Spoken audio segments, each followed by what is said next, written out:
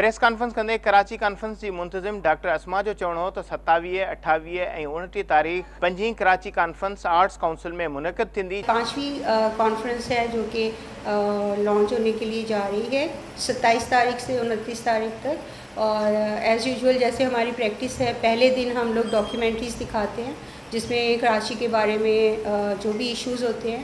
اور اسپیشلی ہم لوگ ینگ اور اپ کمنگ لوگوں کو اسٹوڈنٹس کو انکریج کرتے ہیں کہ وہ اپنی ڈاکیومنٹریز اس میں شامل کریں۔ کانفرنس واگل آرکیولوجسٹ ڈاکٹر کلیم اللہ لاشاری بدایا تو ہزارن سالن جی تاریخ میں شہر کے فتح کرن جو کتھے بھی ذکر نہ کہ اگر کسی نے اس شہر کو فتح کیا تو وہ محبت کے ساتھ اپنا مقام اس نے بنایا ہے۔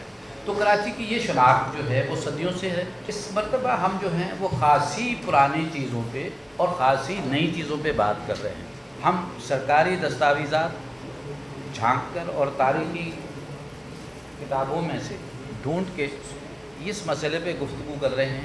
رومانہ حسین بتایا تو پہرینی کانفرنس میں تحقیقی این فکشن فلموں بھی شامل ہوں دیوں جے کے متعارف تھیں دیوں یہ ایک دو کے علاوہ باقی ساری جو فلمیں ہیں وہ فکشن ہیں۔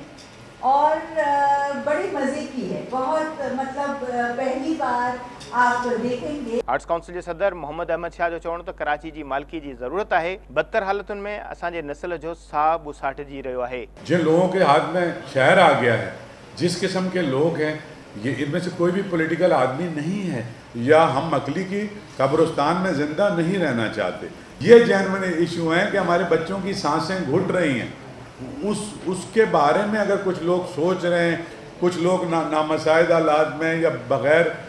فنڈنگ کے یا کچھ تھوڑے سے نیگر ریسورسز سے اگر کوئی یہ بات کر رہے ہیں تو آئی تھنک کہ we should all support them arts council